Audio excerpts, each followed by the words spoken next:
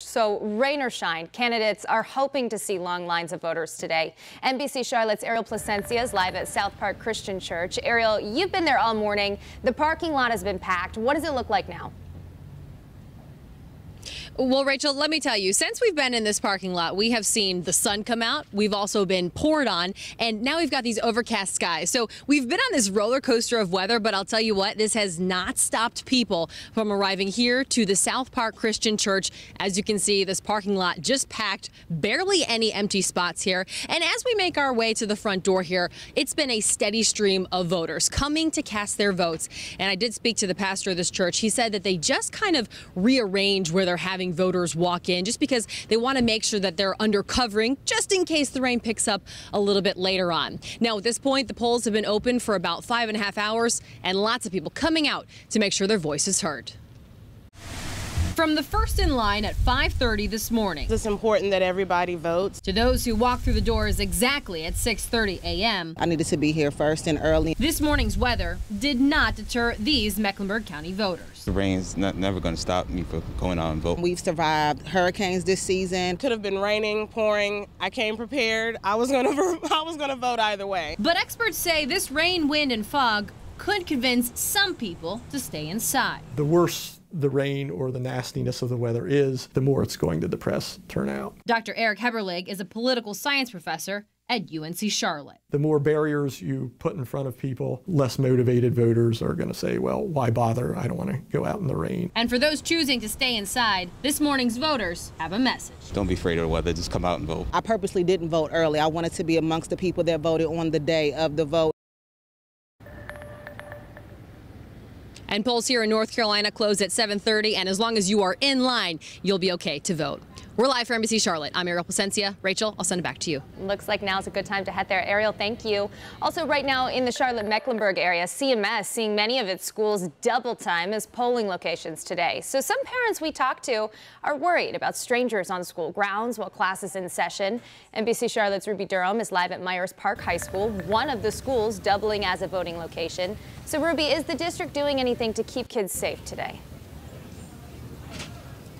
Yeah, Rachel, that's right. You're looking at one out of 80 schools here in Mecklenburg County acting as a polling site. So to keep students safe while you see voters are inside voting, school leaders say they're going to be increasing security here on campus to keep students protected and limiting voter access while in the building. Get up and vote. Your vote counts. After months of speeches and debates, one vote could make all the difference. Voters across Mecklenburg County are saying it's time for a different voice, ours. Especially in a state like North Carolina where things kind of go back and forth. But in the midst of excitement, there's concern. There are so many other things happening at polling places around the country that we should definitely do more to protect people. Especially when it comes to our students. Here at home, several CMS schools are doubling as polling locations while students are in class. This has some parents wondering if there's a better way. I really think, I mean, it'd be great if it was a national holiday. In the meantime, Superintendent Dr. Clayton Wilcox tells us a campus security agent will be in place for protection. He says voters are taking secure routes through the school to the voting area while being monitored during the entire entire process, and students will also be rerouted to ensure no contact with voters. Know, with things recently, people are at least on alert, so maybe that'll help out, but then again, you can't really predict these things. All right, Rachel, CMS is requesting students and parents to be a little patient today with the changes. I'm reporting live for NBC Charlotte. Ruby Durham, back to you in the studio.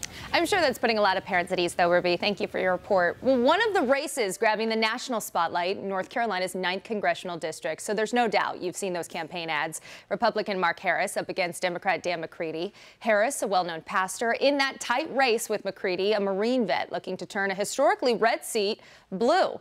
NBC Charlotte's Mark Boyle spoke with both candidates this morning. He's now live at a polling location in the South End area. So, Mark, you look like you're about to head out on a scooter, maybe taking a ride to the polls. What's going on out there? So, so we'll get to the story in just a second. There's always an excuse to get on one of these scooters, but Rachel, the scooters are free today. Anybody can jump on a scooter or a ride sharing app and you can come to the polls and cast your ballot. But back to the Harris and McCready race. It is so tight. We talked to both candidates this morning and they have one more message for voters if you still haven't gotten out to vote yet.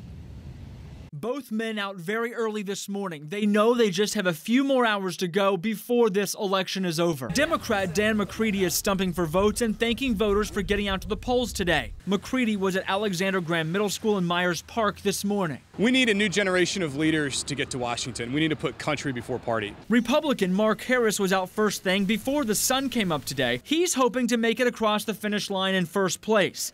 I found him at Elizabeth Lane Elementary in Matthews. We're feeling cautiously optimistic. I think uh, everybody's been encouraged by the early vote turnout. Both are new in the political arena and truly neck and neck for the 9th Congressional District. Both can agree on one thing, though. It'll come down to the very last vote. Every vote counts here, and they know it. It's a very tight race. We feel great. We knocked on more than 34,000 doors this past weekend. We had thousands of volunteers coming out, knocking on every door that we could. I think there's uh, there's real energy out there. We've tried to, everything we have, uh, left it all out on the field. We've uh, brought our message to the people of the 9th District, and today it's just about uh, folks turning out and uh, them going to vote and voting their convictions and their conscience.